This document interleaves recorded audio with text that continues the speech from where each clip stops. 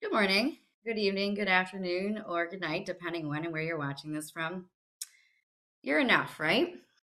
You probably don't always feel like enough. My name's Jennifer. I'm a nurse. Sometimes I don't quite feel like enough as a wife, a mother, a nurse.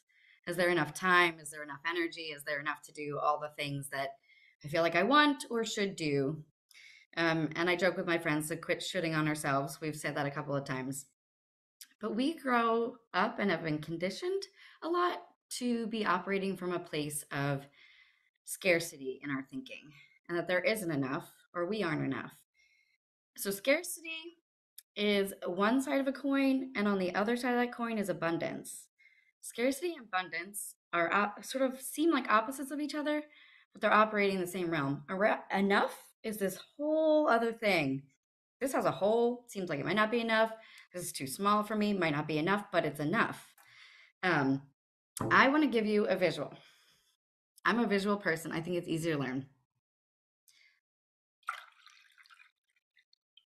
This is enough. This is abundance.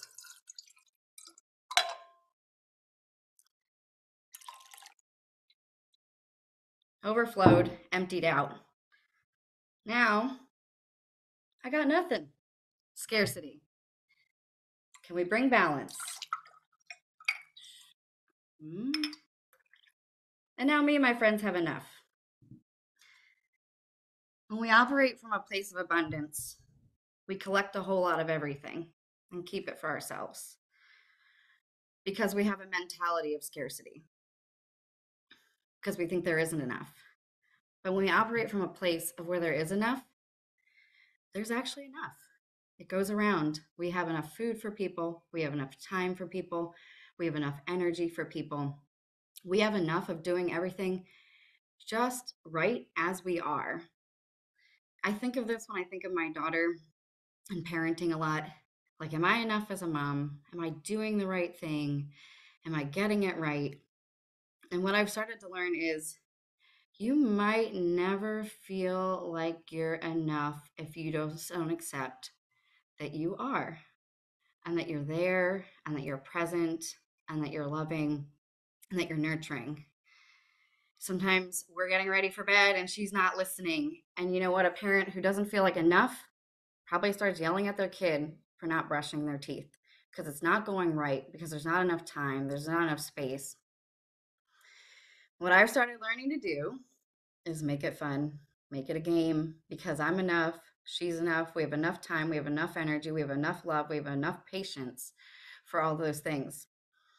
She doesn't want to eat. I get her to eat one bite, and then I have her stomach pretend her friends in her stomach want company. She doesn't want to brush her teeth. I tell I have her toothbrush, talk to her, and tell her that it wants to clean her teeth. Because we're enough. Let's make it fun. Let's enjoy life. So I would just encourage you when you're feeling hurried, rushed, wanting to hang on to things, not willing to let go, to sit and give yourself a little think. Do I feel like I'm not enough? Is that why I'm behaving this way? Is that why I'm thinking this way? Is that why I'm feeling this way? And just take a couple deep breaths.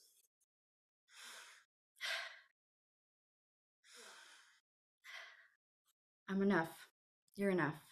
We're enough for this world. And let's love others out of that truth. Thank you.